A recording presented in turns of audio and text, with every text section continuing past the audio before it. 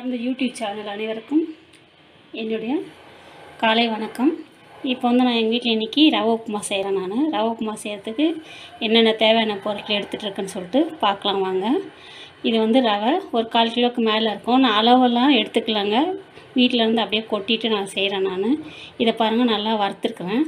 ரவை வறுக்கிறதுனா சும்மா ஒரு சிலர் போட்டு சும்மா அப்படி ரெண்டு திருப்பி திருப்பிட்டு வறுத்துட்டேன்னு சொல்லிட்டு சொல்லுவீங்க. அந்த மாதிரி வேண்டாம். இது வந்து நல்லா கொஞ்சம் பொறப்பொறான்னு வர அளவுக்கு நல்லா பாருங்கள் இது பார்க்கும்போதே தெரியும் உங்களுக்கு. நல்லா பொறப்பொறான்னு வர மாதிரி நல்லா வறுத்துக்கணும் ரவையை. அதுக்கப்புறம் கொஞ்சம் கடலைப்பருப்பு எடுத்து வச்சுருக்கேன். கொஞ்சம் உளுத்தம்பருப்பு ஒரு பெரிய வெங்காயம் ரெண்டு பெருசு பெருசாக இருக்கிறது கட் பண்ணி வச்சுருக்கிறேன்.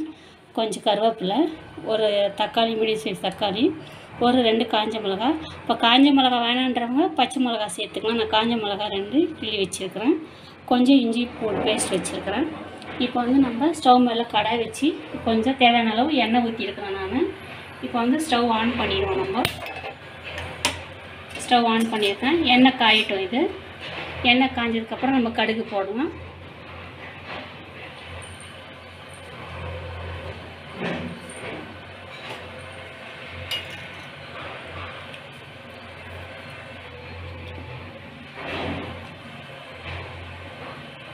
பாருங்கள் எண்ணெய் காஞ்சிட்ருக்கு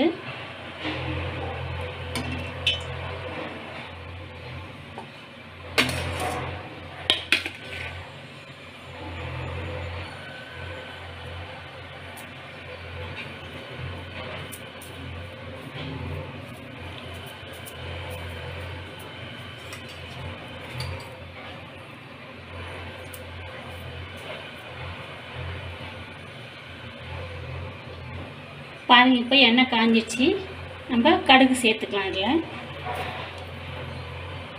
கடுகு போட்டிருக்கிறேன்.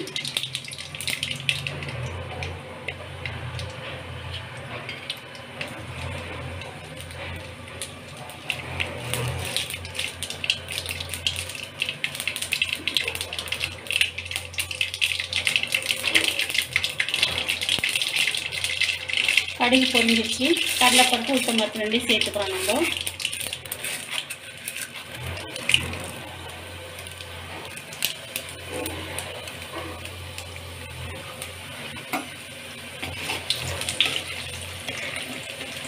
இது கொஞ்சம் பொன்னிறமாக செவந்து வரட்டும் இது கடலைப்பருப்பு உளுத்தம்பருப்பு.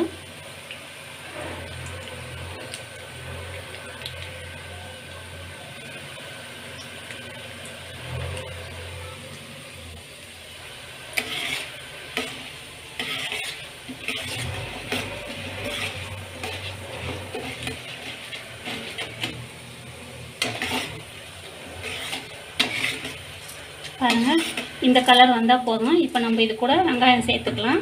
அந்த வெங்காயத்துலேயே இது இன்னும் பொன்னிறமாக வதங்கிடும் நம்மளுக்கு.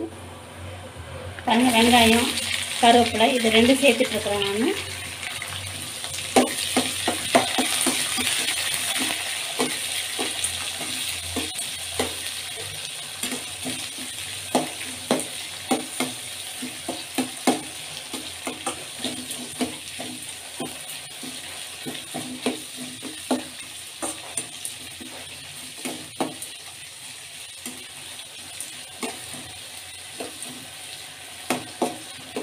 பாருங்கள் இது கூடவே இந்த ரெண்டு காஞ்ச மிளகா இதையும் சேர்த்துக்கிறேன்.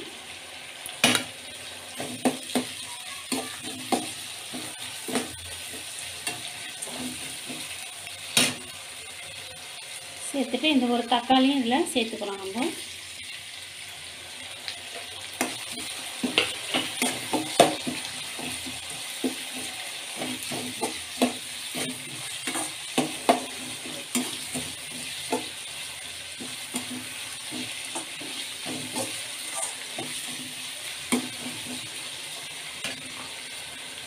இதுக்கு ஒரு கால் ஸ்பூன் அளவு இஞ்சி பூண்டு பேஸ்ட் போடுறேன் நான். கொஞ்சம் இஞ்சி பூண்டு பேஸ்ட்டு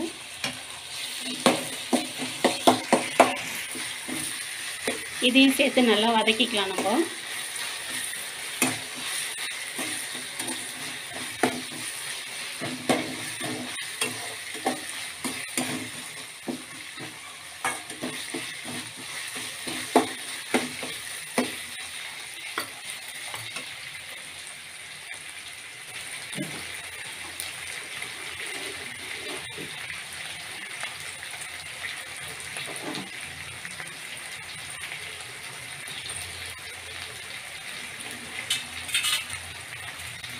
பாருங்கள் இதுக்கு தேவையான அளவு உப்பு சேர்த்துருக்கேன். உப்பு சேர்த்துட்டு இதையும் சேர்த்து வதக்கிக்கிறோம் நம்ம.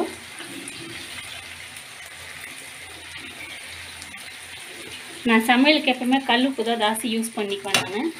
உங்களுக்கு தேவைப்படாத நீங்கள் சால்ட் போடுறவங்க சால்ட் போட்டுக்கலாம். ஏன்னா கல் உப்பு உடம்புக்கு நல்லதுன்னு சொல்லிட்டு உடம்புக்கு ஹெல்த்துன்னு சொல்லிட்டு நான் கல் உப்பு தான் சேர்த்துருக்கேன் நான். கல் உப்பு தான் போட்டிருக்கேன் நான் இதில். இது கூட சேர்த்து போட்டு எல்லாம் வதக்கிட்டு இருக்கோம் நம்ம.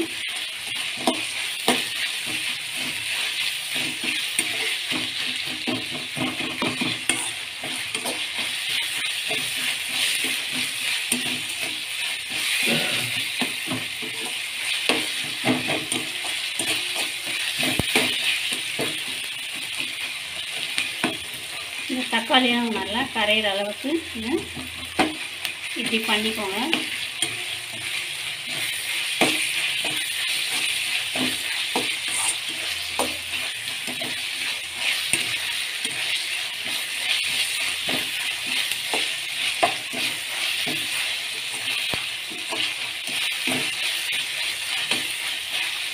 அது இது வதங்கிடுச்சு இப்போ இதுக்கு வந்து தேவையான அளவு தண்ணி ஊற்றிக்குவோம் இப்போ நான் வந்து தண்ணி வந்து அளவு நான் அப்படியே ஊற்றிக்குவேன் நான்.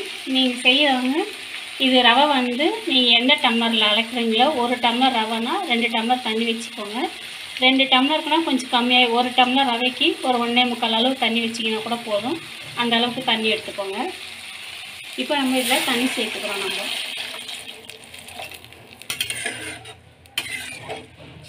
பாருங்கள் தேவையான அளவு தண்ணி வச்சிட்ருக்குறோம் நான்.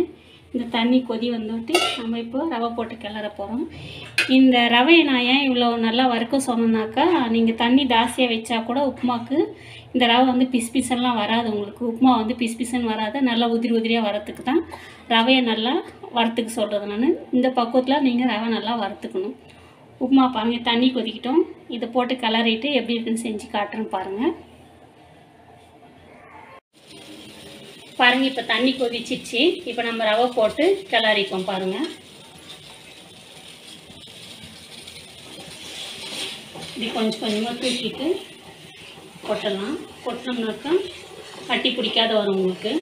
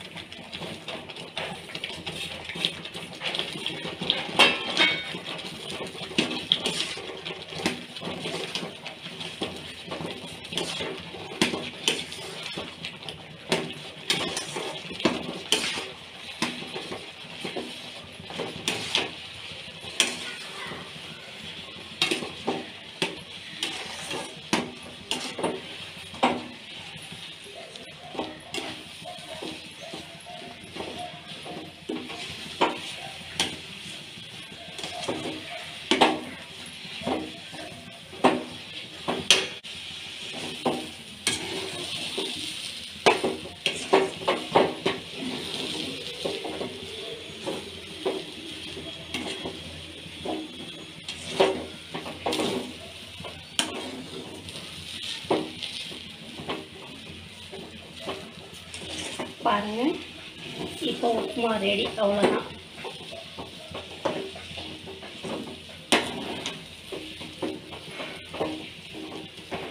நான் எண்ணெய் மீடியமாக தாங்க ஊற்றிருக்கிறேன் ரொம்ப நிறையா ஊற்றல மீடியமானலேருந்தே உப்புமா இது ரொம்ப கை கொட்டாது நல்லாவும் இருக்கும். பாருங்கள் கை கொட்டாத பாருங்கள் எண்ணெய்லாம் நான் மீடியமாக தான் ஊற்றிருக்கேன் ரொம்பலாம் ஒட்டல. பாருங்கள் உப்புமாவும் உதிரி உதிரியாக வந்திருக்கு நம்மளுக்கு.